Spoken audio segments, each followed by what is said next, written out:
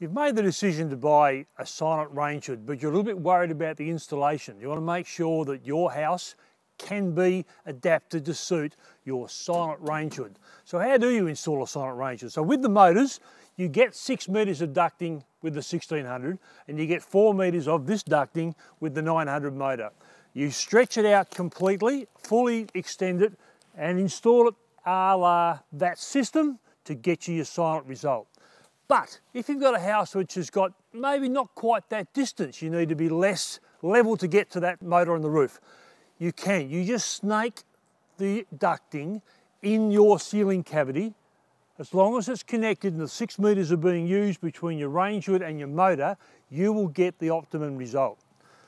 What if the situation where your motor is going is further than six meters? Yes, you can add extra ducting to that length you've got, the six meters you've got, just purchase extra stuff from uh, and you can extend it together to make it up to probably 12 or 14 feet away.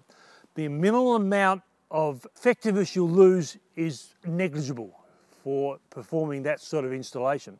If you've got a, a double story house, you can install the 900 on a side wall quite comfortably or on the eave. So you want to go on a L-shaped extension, you want to go out a side wall, you can do that. Even if it's only two, three or you know, three and a half metres away from the range hood, you'll still get a result. You will hear a little bit of wind noise, but you're still going to get a far, far better installation result in your kitchen uh, than the regular noisy range hood with an onboard motor.